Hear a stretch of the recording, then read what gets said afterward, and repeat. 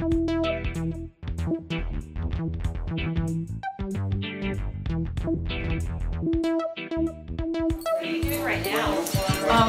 we're doing is we're using um, treats. Uh, well, I'm supporting her in the back. She's obviously on but we actually just had her come out of underwater. So if for any reason she might be a little fatigued, I'm supporting her. Obviously, she's a little bit more in the back. And what I'm doing is using treats to get her to look up and actually in each direction coming to her shoulders and chest. And what that does is it helps for the chest and the sky. What it is, is it helps uh, neck and her back pain in the front a lot of flexibility for her shoulders and her sides because she is obviously very restricted being older and a tripod. There's a lot of stress on the back. So we try and keep them as flexible as possible to keep any further injury from occurring. Oh. What I'm doing is I'm, um, we're doing weight shifts and what it does is, because especially for her, her balance is probably the hardest thing she has to deal with.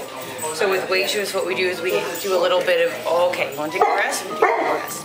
With the weight shifts, it helps um, uh, strengthen the back, which she needs more strength to stay up, and balance as well. It's probably one of the hardest things she needs. So more important, especially only having the one in the back, she needs a lot more strength in the back end and a lot more balance so that she doesn't fall over and hurt herself. And by weight shift, what exactly are you doing? It's just, they're just literally just that where I'm putting pressure on the hips and it's not getting them to step sideways because it doesn't really benefit her.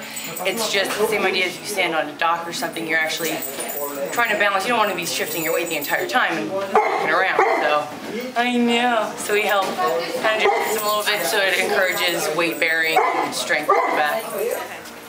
Good. Good. How many times will you have her do this?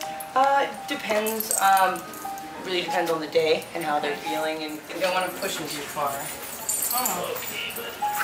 Girl. Cute. The leaf. The leaf. Good. Good girl, Lou. Ten. Not over there, Lulu. How do you determine what kind of pace to, to walk them at? What's better, fast or slow, or? Depends on what's wrong with them. You know, really old dogs, you might just take it slower because, you know, they have a bad heart or they never want to put them out, you know. We never want them to do more than they can handle because Uh-huh. it's not going to help them or anything. So, you know, if, if they're, she's very energetic today, so I'll take her through quicker, but I can tell when, you know, when they're just pulling back and they don't want to.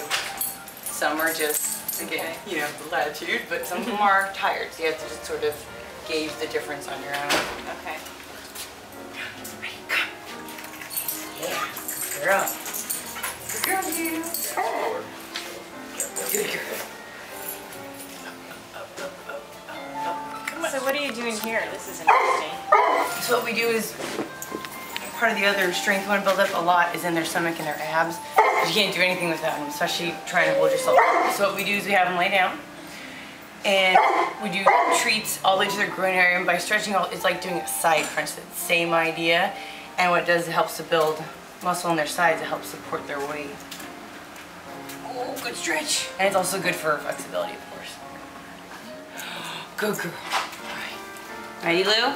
Come on. Oh, oh, oh. Come on. Come on. Oh, lady.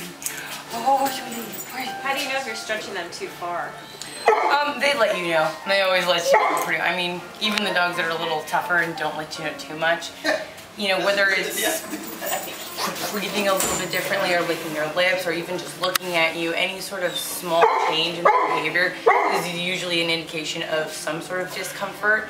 So if I'm, say, you know, stretching her leg and I, you know, and it's all gradual and we're always very aware of looking for signs of discomfort, you know, nice little gradual stretch. And if she looks at me or she licks her lips, that's where I'll stay.